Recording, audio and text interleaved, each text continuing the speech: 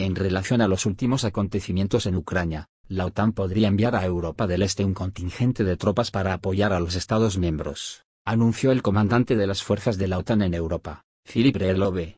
Estamos estudiando la posibilidad de utilizar un paquete de medidas terrestres, aéreas y marítimas que garanticen seguridad a nuestros aliados en el este, dijo el alto representante de la alianza en una entrevista con la agencia AP, y agregó que en esta operación puede participar cualquier miembro de la OTAN incluyendo a Estados Unidos, dijo. De acuerdo con Breglove, la OTAN estima que cerca de la frontera con Ucrania hay alrededor de 40.000 soldados rusos y su número no se ha reducido. Este contingente tiene todas las facilidades para realizar tareas militares, si reciben la orden, señaló el general. Miércoles el Ministerio de Exteriores ruso volvió a recordar a la comunidad internacional que Rusia no lleva a cabo en la frontera con Ucrania ninguna actividad militar inusual o imprevista y que lo ha repetido en varias ocasiones.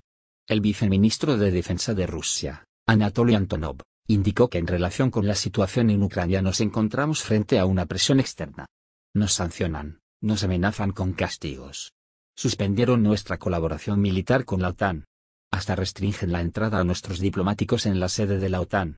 Nosotros estamos atentos a los planes de algunos países de la OTAN que colocan en su territorio cerca de la frontera rusa un gran potencial militar del bloque del Atlántico Norte, lo que contradice completamente los acuerdos con la OTAN, dijo Antonov, quien advirtió que a raíz de los sucesos en Ucrania se note clara